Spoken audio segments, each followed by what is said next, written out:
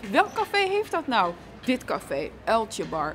30 bieren op de tap en ook nog speciaal bieren op de fles. Dat is heel erg bijzonder. We gaan even binnenkijken bij de Eltje. En we gaan even vragen waar het bier vandaan komt. Ik vind het juist leuk om de Haarlemmers ook een beetje uh, kennis te laten maken met andere bieren. Dus om die reden hebben we gekozen tussen de 6 en 10 bieren van het uiltje. Gemiddeld variërend van tap. Dus als een vis opgaat van een komt er weer een ander soort op tap. En de rest is aangevuld met uh, binnenlands, buitenlands, van alles wat. Maar denk dan wel dus aan bieren uit Denemarken, Italië, uit Zweden, uit Amerika, uit Spanje, uit Tsjechië. Gewoon dingen die in ieder geval niet in andere cafés hier in de regio te krijgen zijn. Gewoon echt speciaal bier, anders bier. natuurlijk al de Joop uh, brouwerij. Uh, en dit is wel een goede aanwinst in de, ja, de, de bierscene in Haarlem, denk ik. Het is sowieso leuk uh, dat er gewoon een kroeg is waar je uh, eindeloos veel bier kan proeven eigenlijk. Dit gaat wel een vaste plek worden voor je? Ja, misschien wel. Het geheime animatiefilmpje van het Rijk, waarin zichtbaar wordt hoe het windmolenpark voor de kust eruit komt te zien, houdt Zandvoort in de ban. Zeven mensen, waaronder drie wethouders van Katwijk, Noordwijk en Zandvoort, een paar ambtenaren en Albert Korper namens de bewoners hebben het wel gezien. En die zijn zich lam geschrokken. Ze zijn gewoon bang voor de effecten. Als je dit laat zien, publiek maakt, dan, dan kom je in opstand. Het kan niet anders. Maar we mogen het niet zien?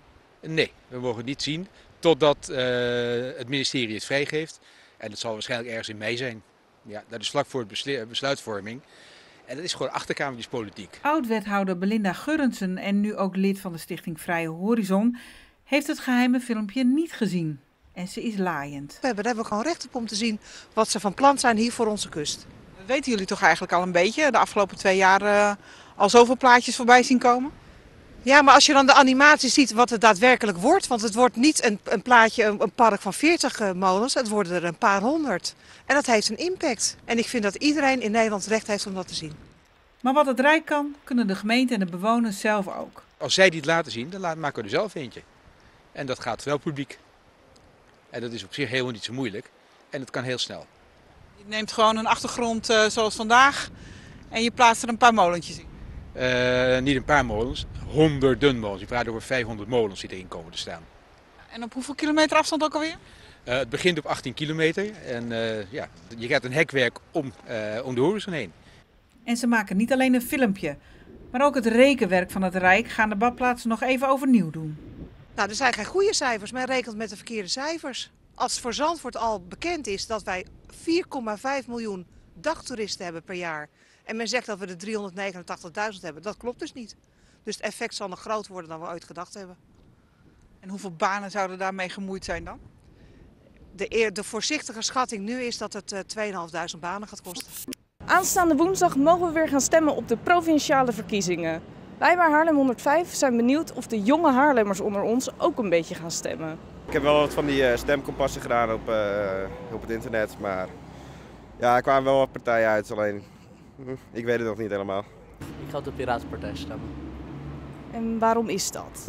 Omdat ik vind dat zij de meeste standpunten hebben waar ik mezelf in kan vinden en de andere partijen spreken me toch een stuk minder aan. Ik verdien me echt niet in de politiek, maakt me allemaal niet echt heel veel uit. Ja, ik vind het wel belangrijk. Je, je kan zoiets niet verplichten, maar ja, het is belangrijk dat je die vrijheid hebt om te stemmen. En ik vind het dan ook belangrijk dat je, het ook, uh, dat je daar uh, ja, gebruik van maakt. Ik twijfel nog waar ik op ga stemmen. En, uh, maar ik vind het belangrijk, zeker belangrijk dat er gestemd wordt. Ja, het, is, het hoort erbij. Het kan. En sommige mensen hebben dat recht niet.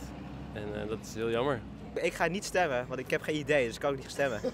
Als iedereen gebruik uh, maakt van zijn stemrecht, dan uh, worden uh, alle stemmen, als het goed is, vertegenwoordigd. En dan wordt ons land bestuurd door de mensen van wie wij willen dat het, door wie wij willen dat het land bestuurd wordt. En dat is het principe van een democratie, dus dat lijkt me het beste. Gaan beginnen met een warming-up.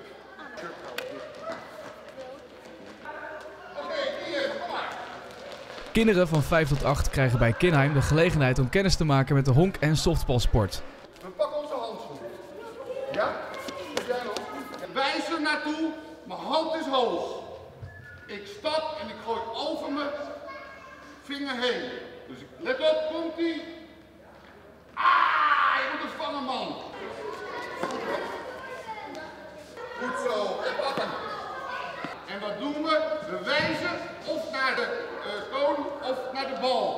Probeer er tegenaan te gooien. Yes, Klaasmans. Check je steeds of je je vingers goed hebt. Dus je staat aan slag, je kijkt eventjes en dan ga je slaan. Oké, ga je gang maar. Oké.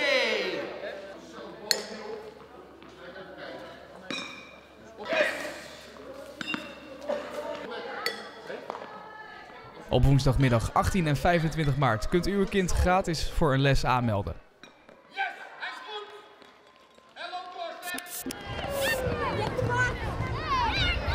De 150ste verjaardag van de Haarlemse sportpionier Pim Mollier werd dinsdagmiddag groots gevierd op de Grote Markt in Haarlem. Junioren van de Koninklijke HFC, opgericht door Mollier in 1879, gaven een demonstratietraining en zorgden voor een eerbetoon aan Pim Mollier, door met elkaar het getal 150 te vormen. Vandaag, er wordt op 600 scholen in heel Nederland actie gevoerd door kinderen. Die maken vandaag herrie op het plein of ergens. In ieder geval heel veel lawaai. Om aandacht te vestigen voor kinderen in andere landen, Azië, Afrika, die het niet zo makkelijk misschien hebben om op school te komen als jullie. Want 3, 2,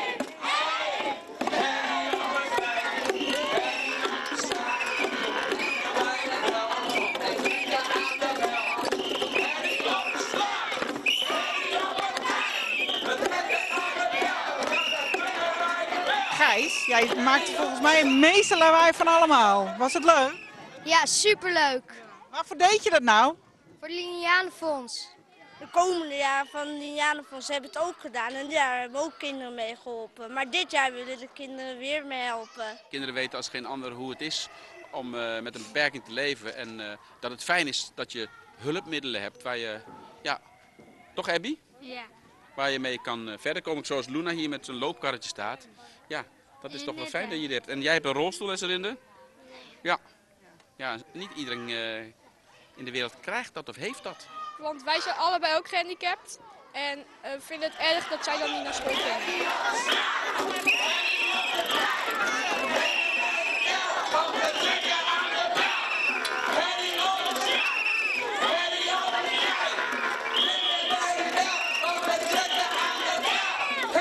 Dat iedereen wakker wordt en denkt, we gaan doneren voor het Linianenfonds. En dan, en dan gaan gehandicapte kinderen in ar armere landen kunnen dan weer naar school zonder dat ze uitgelachen worden.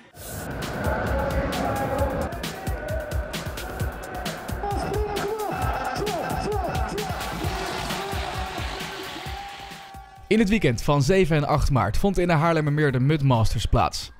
Ruim 17.000 deelnemers ploeterden zich door de modder. Speciaal voor een sportief publiek was er een ruige storm bedacht. Van een 4 meter hoge skatebaan tot een kruipgang met stroomdraden waar de deelnemers onderdoor moesten tijgeren.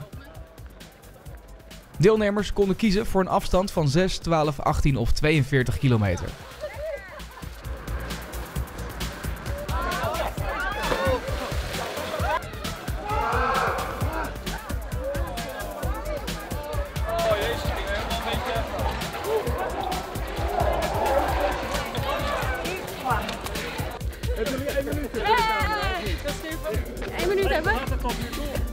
Goed. Ja, hebben jullie het al eerder gedaan? Nog nooit. Nog nooit, de eerste keer? Ja. En hoeveel kilometer?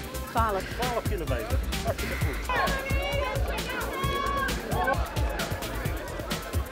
Kijk!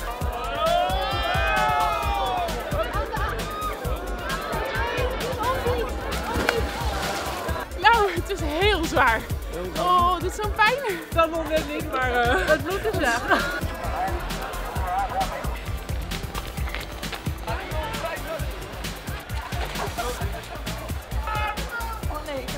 Ik heb gladde handen. Wat is niet hoor. Oh, gewoon door het water. Hey!